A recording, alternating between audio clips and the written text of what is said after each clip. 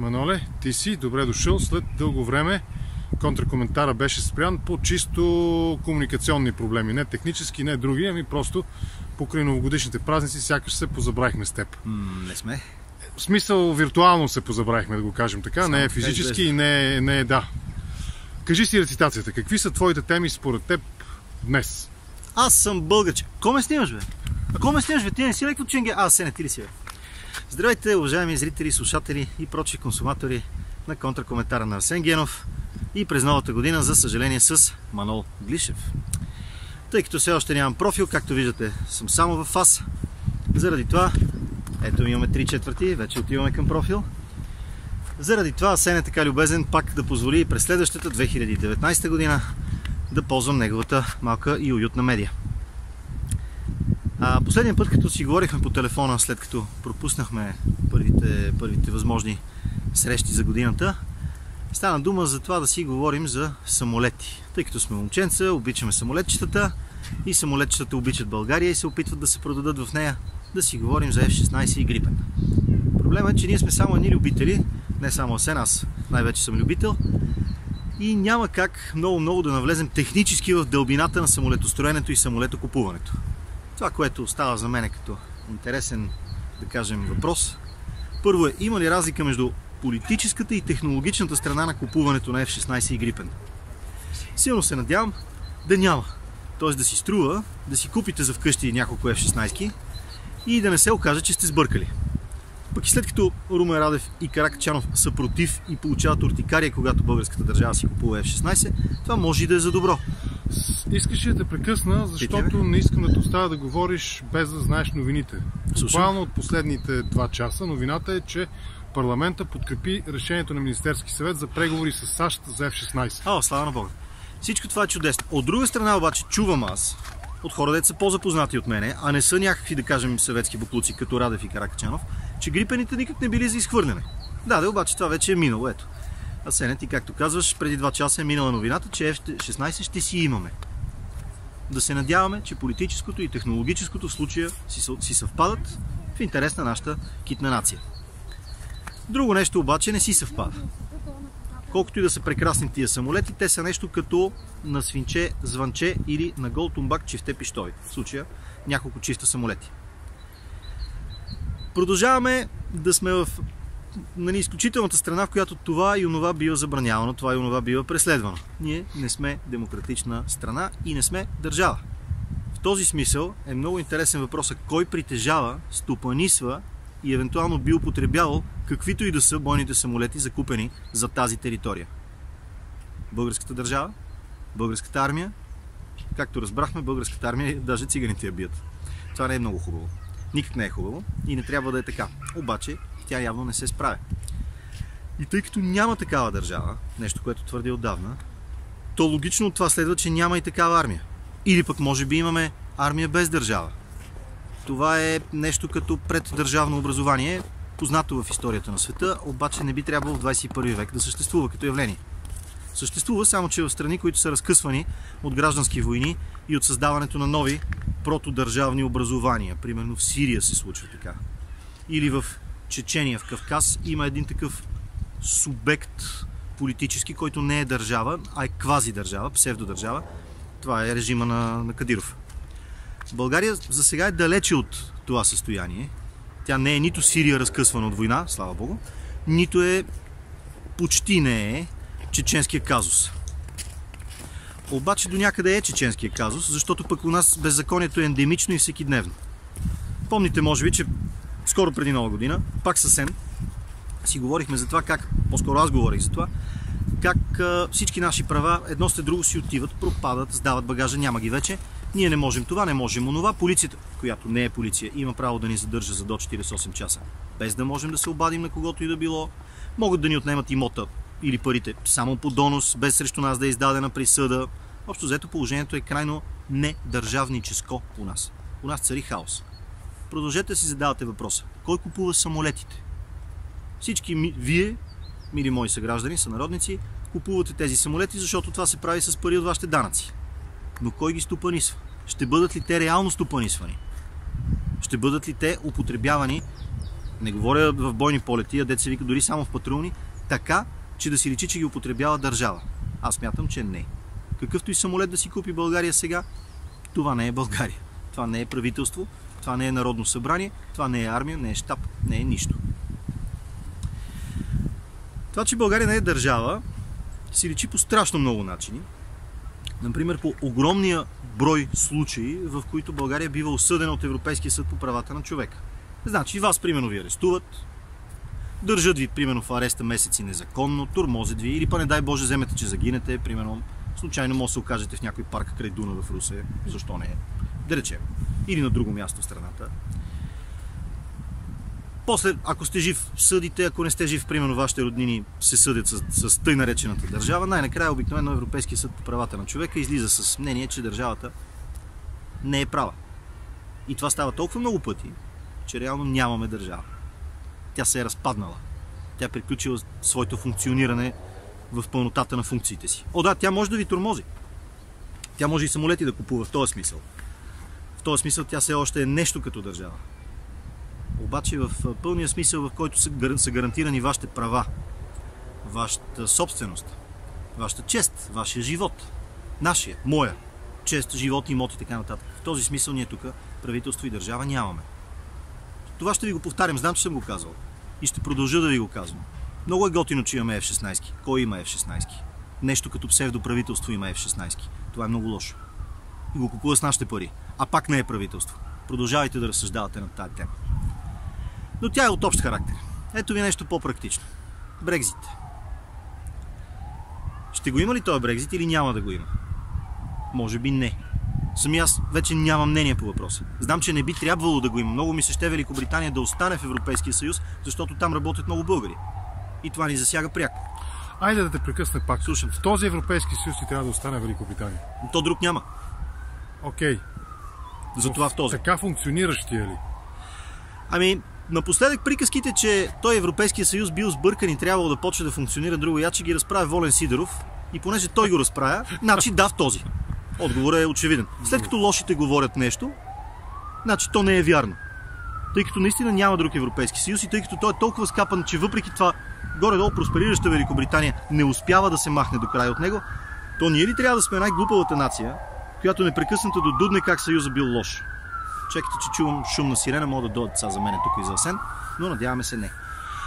А, та Европейския съюз не е идеален.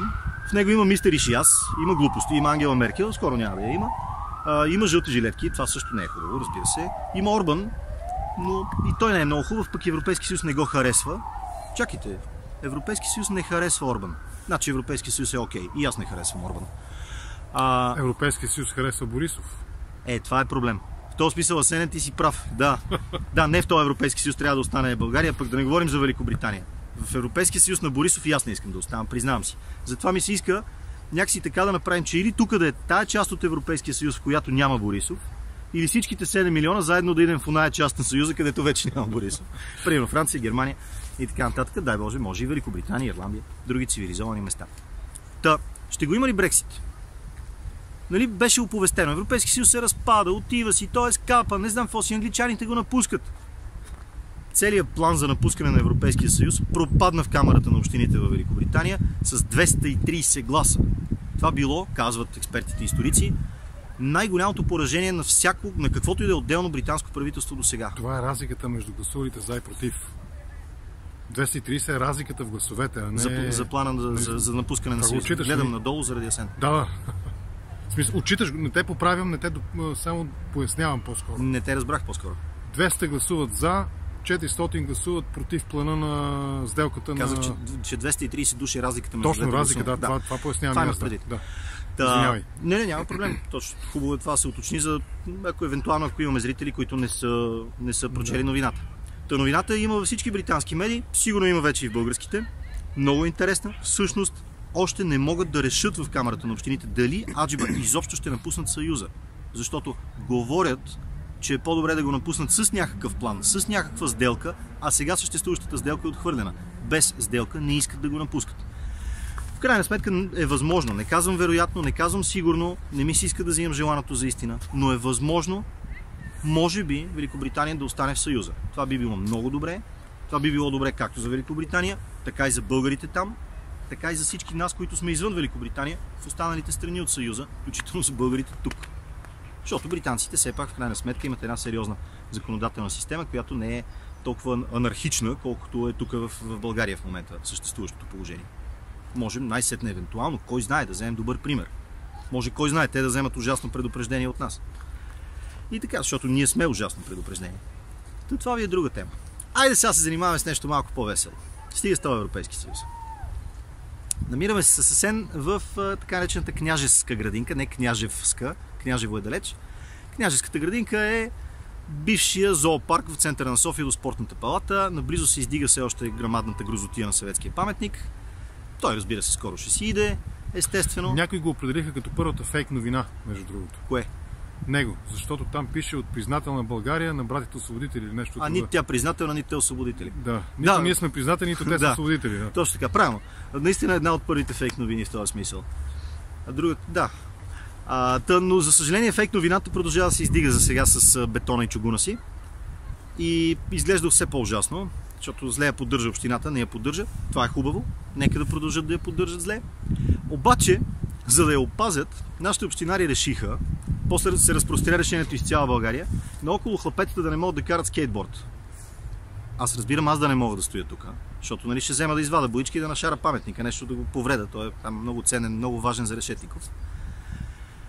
Обаче скейтборда е едно безобидно средство за придвижване в паркове и градинки и съвсем наблизо до съветския паметник има голяма Рампа. как се казва? Рампа. Рампа, точно така, мерси Асене, за, за, за, за скейтери. Понеже тия безобидни хлапета са така по-скоро иронично настроени, да не би съкън някой от тях да последва примера на лошия Чичко Манол и да извади някоя боичка. И заради това в момента цяла България е забранено да карате скейтборд, ако сте хлапе. Нали, ако сте възрастен, карате други неща, съветска джипка, например. И това е изключително смешно. Това е пример за продължаващото шубе на нашите общински власти от всякаква форма на, как да го кажа, на нормален, обикновен, жизнен, нерегламентиран градски живот. Все едно се върнахме в 87 година, когато, нали, Гошенце не тича и по тревичката, те са я засадили другарите тук. Нали, за разлика от нормалните паркове в нормалните градове, в нормалните държави, Аз където мисля, човек може е, да седне. Мисля, че това е съпротива срещу субкултурите. А, може и така да е. Ма ние наистина се намираме на историческо място, бе, Асене. Само да завърши предишното изречение. Да. Та, ти си прав за субкултурите, точно нещо подобно може би и аз имам предвид. Защото не бива да има хора, които да са, примерно, подозрително изглеждащи, брадати, да го коси, с обици по ушите, не дай Боже нещо татуирани. Защото това е лошо, това не сме ние, това не е народно, така да се каже, не е, не е хоро в ледените води на 6 януари, а е едва ли не западно и може би, у, да пази Господ ги е европейско. И едновременно се охранява съветската грамада, съветската простотия, съветският а, фейк новина, много хубав лав. Готини на мен ми хареса, Да, да. и е верен. А, и едновременно с това наистина се провежда една вече устаряла и вече загубена, между другото, борба срещу субкултурите. Субкултурите не означава култури, които не са култури, не означава и зимни култури от рода на, да я знам, поповата масловка. А означава, както може би някои от вас все още не са забелязали, означава градски неформални култури. Скейтерите, скейтбордчетата си са част от такава субкултура, да речем. Някога обаче, точно тук в княжеската градинка, са се събирали панкарите. Тия с гребените на главите и с шарените ризи и с, и с странната музика. Доста джангариста музика, понякога много добра. Малко еднообразна обаче. И панкарите са едни от първите хора, които в България открито са се подигравали с народната власт и с народната милиция. Дето, нали, днешната милиция не бие, ама с нощната. И... Това го бях забрал това. Това е древен лав. А Сене, ти може да ги помниш тия панкари. Брат ми ми ги напомня за тях от време на време. Да, Sex Pistols, Да. Рамонес, Туюной. Clash, Stranglers. Ето. И всъщност Пънко няма да умре, както има един древен лав от останалото ние времена. Така че всеки опит за борба с градските субкултури е изначално обречен и е много пенсионерски. Той е, как да го кажа, той е като последните опити на римски император Домициан да налага някакви забрани в Рим. Не става, не работи. Аз се сетих обаче защо ги плашат субкултурите. Според мен, защото те имат потенциал да се превърнат в контракултури. Да, в осъзнато движение против а, пуснотията. Да, аз имам такъв един как да го кажа, едно усещане, че не само политическата власт в България нали, е тотално прогнила. Тя не е държава, както обичам да казвам. А, и както се упражнявам риторически пред тебе и, твоята публика. А, но, и, но и официозната псевдокултура, та, която е казионна, та, която е общо взето съюзи на художници, съюзи на писатели, някакви такива древни чичаци, като нали, Вежди Рашидов, Стефан Данаилов, някакви точно такива прашасари мозъци, Люболевчев, тия общо взето се опитват да се крепят чрез държавата, чрез съветските грамади, чрез опита да се контролира дори средата на науките и изкуствата в България. И създават казионна култура. Създават казионна култура и много ги плащат панкарите, плащат ги скейтерите, плащат ги хипите да ги плащат. Стига гори хипита! Да махнем рок фестивал от каварна, да направим фестивал на съветската естрадна песен. Нали, в 2018-19. Срамота. Загубена битка. И си прав, че да, че тия субкултури ги плашат, за да не се превърнат в отрицание на, на фалшивата култура, за да не се превърнат в контракултура. Много, много хубав лав. Днеска много добри реплики ми подавате, другари Огенов. Радвам се, че, така, че ме оценявате по достоинство, другари Глишев. И така, това са моите темишки за днеска. Едната беше нали, тази за, за F-16-ките, над които и аз продължавам да се колебая, но ето, че нашите власти не се колебаят. Американското добро победи, както във всички хубави филми. Всъщност, може би това е за добро. А, другото беше Брексита, който май, кой знае дали ще се случи въобще. И третото е наистина, абе, аз стига чалга, стигат чесън и сланина, знам, че е януари месец, но може и пънк, може и рок, може малко повече лична свобода, по-малко люболевчещини, по-малко глупости. Пис. Не, не, не е пис. Не е ли пис? Виктори. Виктори, Виктори, да. Ей така. Ами добре. Това ти беше рецитацията, Маноле, yes. както би казал един политически бизнес лидер от ранния преход. Благодаря ви, благодаря ви, много ви благодаря. И аз много ти благодаря. До следващата седмица, до следващия контракоментар с Манол Глишев. Ами да, Боже. Оказа се, приятели, че Манол научи от мен друга новина от днешния ден. А и именно... много щастлив. Да, факта, че а, Валери Симеонов е поставен пред тежък избор да излезе в очите на всички лъжец или да завърши своя житейски, житейски земен път достойно, като изпълни своето обещание. Амин. Имам предвид решението на Върховен административен съд петчленен състав, който потвърди решението на тричленката, с което решението за промяна на парка, плана за управление на Национален парк Пирин, взето в края на 17-та, ако не греша година, не 18-та, какво беше? Както и да е, решението, което взе Министерски съвет по коледа, мисля, че 17-та година беше точно така, с което направи коледен подарък на Жирардели и Цеко Минев, остава в сила. Тоест, решението е незаконно, с което Валери Симеонов трябва да изпълни обещанието си да вземе парче релса и да скочи от Бургаския мост, както той обеща и каза. И допълваме контракоментара на Манол Глишев с неговия коментар на този казус. Всичко това е прекрасно. Аз съм много щастлив. А, разбира се, че тая новина трябваше вероятно да съм си я прочел. Обаче не бях. И Асен много приятно ме изненада. Мерси, Асене. И, и това е прекрасно. И наистина, може и нещо от пирени да оцелее все пак. Кой знае, да го оставим на потомство. Някой е да е вайче, някой е козичка. Някой е скала не, нали, неопетнена и недоразрушена. Някой е борче дори. Байкушевата мура няма да я сечем за сега. Дано, дано това да е така, уважаеми зрители, приятели и слушатели. Но се боя, че както винаги в България нищо не е толкова хубаво, колкото ни се иска. Междувременно си отидоха Иракли и Смокине. Иракли, дето ушким го бяхме защитили. Ние го защитихме Иракли, казваха ни наши зелени приятели. Ми не го защитихте, пичове. Ние защитихме, а, примерно, Смокина. Ми не я защитихте. Дали ще защитите Пирин трайно? Е, това не зависи само от Върховния административен съд. Браво на Върховния административен съд. Това е похвално неговото решение. Само, че Цеко Минев и подобните му не са хората, които ще се откажат от една сочна тлъста пържола. А Пирин... Заради решение съдебно. Да, моля ви, съдебно решение. Съдебните решения са нещо, което в България подлежи на редовно, ежесекундно преразглеждане, ако не е правилно. Тоест, ако не е в наша полза, другари. Така че, да не се радваме предварително прекалено много. Да се позарадваме. Дет се вика и ръцете да си стиснем. Обаче, обаче да очакваме нещо друго. Да очакваме някоя странджа, да очакваме, какво да очакваме? Аец Белене да очакваме, доста изплавали и светещи сомове из Дунава ще има. Да очакваме, какво да очакваме? М- до унищожението на някой друг девствен плаш, особено в северна България. Защо не? Яйлата, какво става с яйлата? М- и така, т.е. новината е прекрасна, страшно се радвам, може и да произлезе нещо добро за Пирин от това, обаче да не бъдем наивни.